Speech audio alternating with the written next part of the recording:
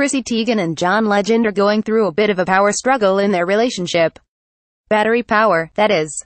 The 32-year-old model and cookbook author, who is expecting her second child, a boy, scolded her husband on social media for swiping phone chargers.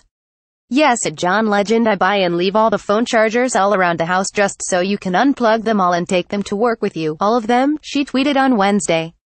I love that you love chargers, they're all for you. I just love you that's why I buy them, because you love them. Teigen then shared a photo of a portable charger shaped like a unicorn. I'm buying this, she declared, before daring her husband, take this one you thief. In true Teigen fashion, her tweets pointed to a problem that anyone with roommates can relate to. Ruby Rose tagged her girlfriend Jessica Origliasso of the Veronicas and wrote, lol. You, you are why I need 50,000 chargers on my rider. Actor Andy Richter also replied, OMG so f***ing same.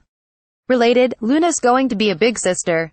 75 completely perfect photos of Chrissy John's daughter Teigen's internet commentary, as always, has fans cracking up. Just recently, the pregnant star joked that all babies, even hers, are monsters. This baby is sucking the life from me. Drinking my water, making me dry. Eating my food, making me hungry. Taking my health, making me sick, she wrote on Twitter. Why do we create these monsters they want us dead, she jokingly added. Related video, it'll be a boy for John Legend and Chrissy Teigen. Teigen's funny comment comes just days after she admitted that unlike others who lament about the pains of pregnancy, she actually likes being pregnant. It's sick, she said during an interview on Today. People have all different types of pregnancies and I really prefer it. I think John prefers it. I'm happier. If anything, I'm just, like, a little bossier. She also revealed how excited she is to have a son.